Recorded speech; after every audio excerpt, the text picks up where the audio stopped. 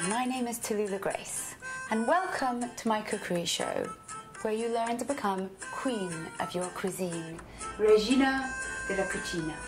Especially if you are single. There's often very sad people in their kitchen on their own. Uh, not just me, obviously. I mean, I'm not even talking about me. Basically, it should be a place where you can be creative and have a little bit of fun and have a little bit of space.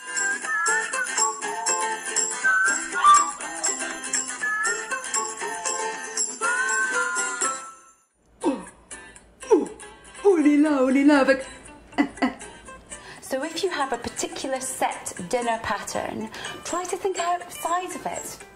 Why not think about a bullfight when you're making a Spanish stew? Open your mind. You can heal old wounds over a stew or a soup or a simple fried egg.